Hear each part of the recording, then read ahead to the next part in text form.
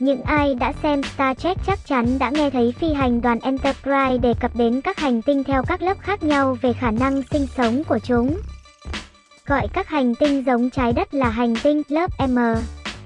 Trong khi loài người có thể mất nhiều thập kỷ, thậm chí nhiều thế kỷ, không sử dụng loại hệ thống phân loại khả năng sinh sống này. Việc tìm kiếm các hành tinh ngoại, hành tinh quay quanh các ngôi sao khác ngoài mặt trời đã cho phép chúng ta bắt đầu quá trình đó bằng cách phân loại các hành tinh ngoại dựa trên bầu khí quyển của chúng. Một nhóm các nhà nghiên cứu quốc tế đã kiểm tra dữ liệu của 25 hành tinh ngoài hành tinh và tìm thấy một số mối liên hệ giữa các đặc tính của khí quyển, bao gồm các cấu hình nhiệt và sự phong phú hóa học trong đó. Dữ liệu bao gồm 600 giờ quan sát từ kính viễn vọng không gian Hubble và hơn 400 giờ quan sát từ kính viễn vọng không gian Spitzer.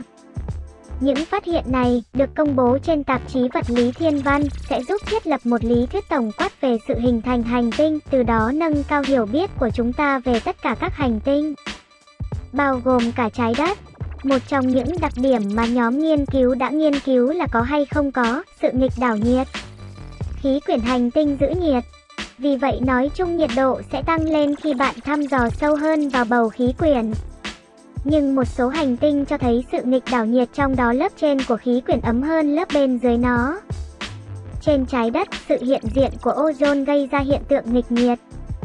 Nhóm nghiên cứu phát hiện ra rằng hầu hết tất cả các sao mộc nóng có nghịch nhiệt cũng cho thấy bằng chứng về anion hydro, H và các loại kim loại như oxit titan, tio, oxit vanadi, vo hoặc hydro sắt FeS.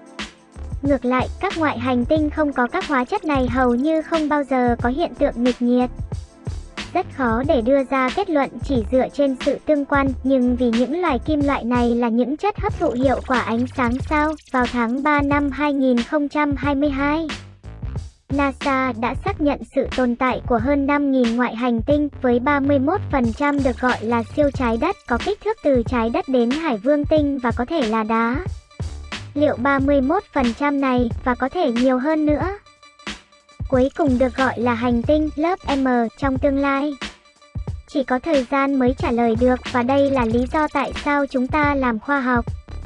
Những thông tin chú ý khác chúng tôi sẽ cập nhật bài viết lần sau. Rất mong sự ủng hộ của các bạn. Chúc các bạn vui vẻ.